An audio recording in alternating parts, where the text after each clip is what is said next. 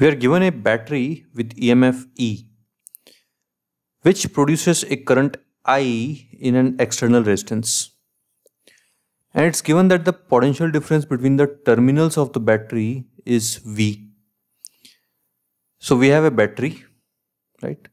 And on the terminals of this battery, potential difference is V.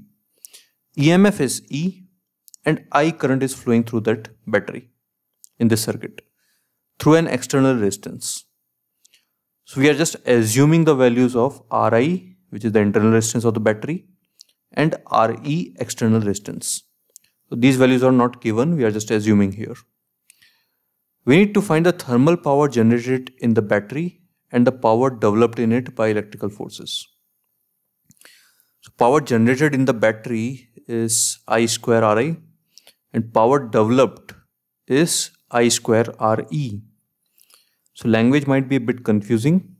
So that's what I'm that's why I'm explaining. Thermal power generated in the battery is I square Ri and power developed, I think it should be by it, will be I square Re. So that's what we need to find. What is given? Current I is flowing through it. EMF is E and potential difference across the across the terminals is V. So here the potential across the terminals is V. So let's write that equation. So starting from here, E minus IR is equal to V, which gives Ri is equal to E minus V by I. So we have already found the value of Ri.